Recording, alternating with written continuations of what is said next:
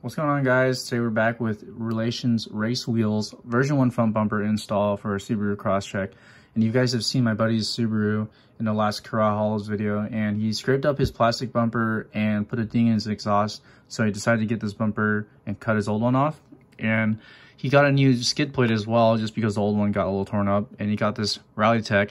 Um, the only problem with this is you'll see in the video that it's not actually suited for something that's of this style. Um, the bumper sits out a little bit further, but we'll go over that when it comes around. Um, it's a really quick video. I didn't really do much filming. It's going to be mostly time-lapse with a little bit of narrative, but um, hopefully you guys find it interesting. I might narrate it, I might not. We'll just see how it goes. It's going to be really short.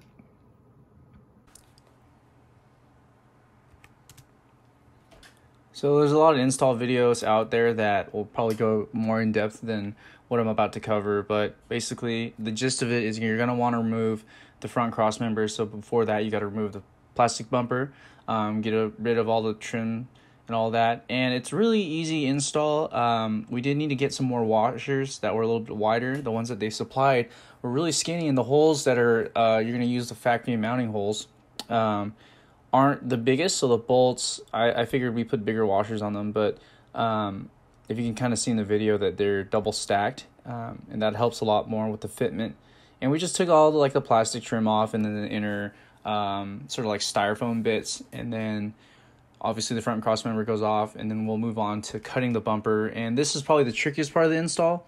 You're going to want to be doing it really slow measuring it multiple times making sure your cut is going to go really well. You can use a uh, an angle grinder um, or you can use whatever method you prefer to cut uh, plastic with. I found this to be a little quicker but the plastic does kind of get melted and it gets really hot. So you just got to be really careful and make sure that you're not going too slow um, and you're going to get a straight cut. So from there, you can pretty much tell that we're going to do this. We did this probably about six times. We took it off, we uh, cut it, took it off, cut it again, took it off, measured it, took it off, cut it. And we kept doing that until we got the proper fitment.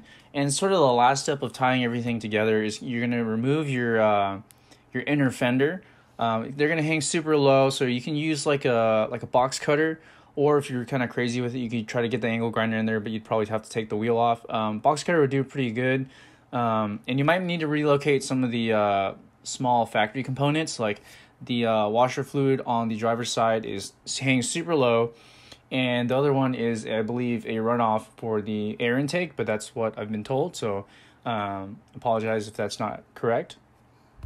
And that's pretty much it. I mean, the only thing, like I said before, that really gave us issues was uh, sort of the factory mounting positions. You might get slightly wider washers.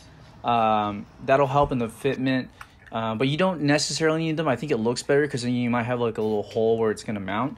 Um, he's going to go through and clean up the edge a little bit more. This was just a preliminary fit, and it came out pretty good. Uh, I'd probably use some sort of like trim liner, little black cap uh, that runs along the whole thing. That might Whoa. look super clean.